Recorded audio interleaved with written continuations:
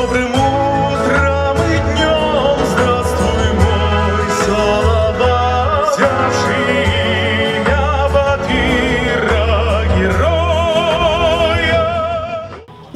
утром, Салават! И с днем рождения! Ясный, солнечный и бодрый сентябрьский день как нельзя лучше подошел для празднования Дня города и Дня работника нефтяной и газовой промышленности.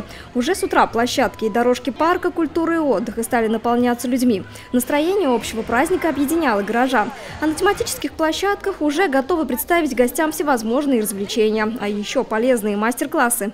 Мы сегодня будем показывать мастер-класс по складыванию салфеток. Несколько вариантов, которые мы можем предложить, чтобы люди приходили в ресторан и знали, как можно креативно сложить салфетку.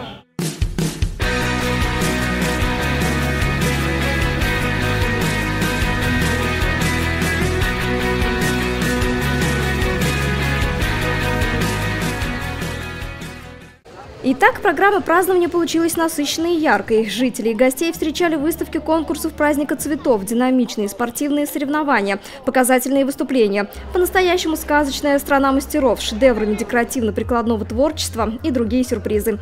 На просторных и зеленых лужайках и на дорожках парка расположились многочисленные выставки, в том числе с познавательными элементами. Например, интересен этнографический стол от городского музея.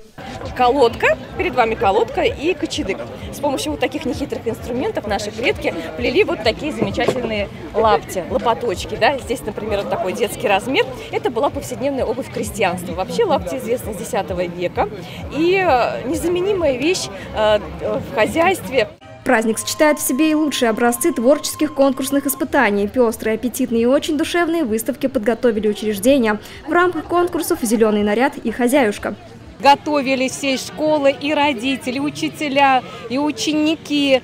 Приготовили много разных вкусностей. Это и пироги, и каравай, это и соленья.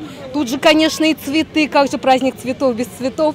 Цветы, выращенные на собственных огородах, на нашем пришкольном участке. У всех прекрасное настроение, поэтому все мы рады сегодняшнему празднику. Прибыли на торжество и руководитель города Игорь Миронов, председатель Совета депутатов Лариса Давыдова, старейшины и общественники. Торжественная часть началась с приветственного слова главы администрации. Он отметил, что Салават с честью перенес непростой период пандемии. Его экономика успешно восстановилась, а впереди новые задачи и достижения. К тому же в будущем году нас ждет юбилейная дата.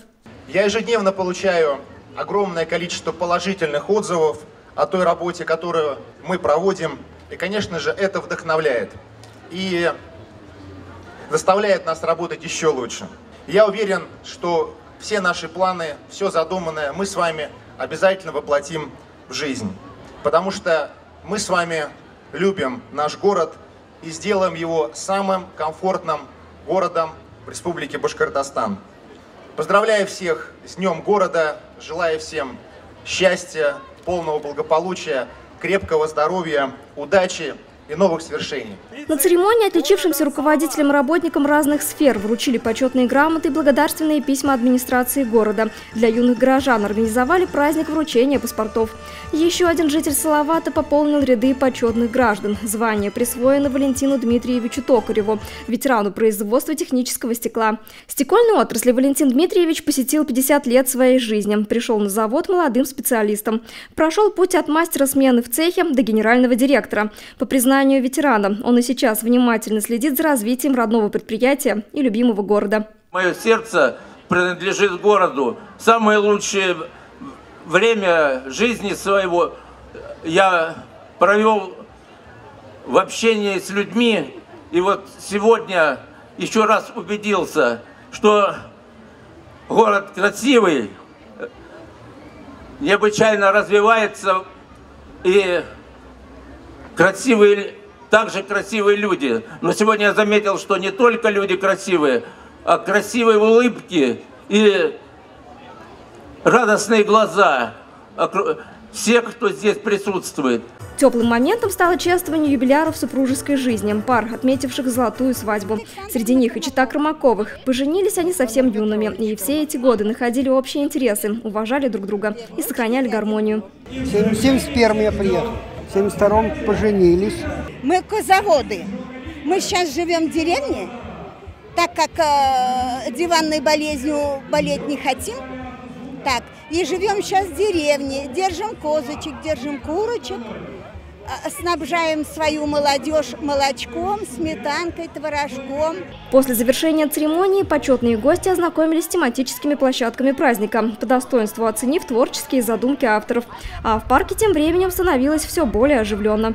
С момента своего основания Салават считается городом молодости и спорта. Соответственно, и в праздник Дня города особое внимание уделено спортивной составляющей. Юные спортсмены устроили показательные выступления в рамках ярмарки спорта, а еще любителей движения активного образа жизни ждали соревнования по силовому экстриму. Воображение собравшихся поражали силачи, переворачивающие огромные тракторные резины весом в 345 килограммов и сдвигающие с места микроавтобусы. В каждом виде спорта есть секреты. Соответственно, там самое главное, ее надо сорвать. А чтобы ее сорвать, все равно должна быть какая-нибудь физическая подготовка. Ну, соответственно, здесь прямая дистанция. Если сорвешь, то уже как-то получится ее передвигать. Но если сил не хватит, то, соответственно, она будет стоять на месте. Увлекательным зрелищем стал и турнир по масс-рестлингу, в котором принимали участие хрупкие девушки, неравнодушные к спорту. Занималась баскетболом, также ходила на волейбол, занималась бегом. А на сцене тем временем изящно вышагивали участницы состязания «Цветочная королева» в ярких и многоцветных нарядах. На той же сцене прошел и праздничный концерт. А новшеством для словацев стало шоу канатоходцев, которое зрители встретили бурей эмоций. Каждый гость праздника мог найти развлечения по вкусам. Программа предоставляла возможность и для движения, и для проявления смекалки, и для эстетического наслаждения. Детвора могла погонять в хоккей на траве, покататься на велосипедах, принять участие в играх. Взрослые спеть, потанцевать, посостязаться в силе и ловкости, отведать лакомства и, конечно, припасти ярких впечатлений от Дня города 2022.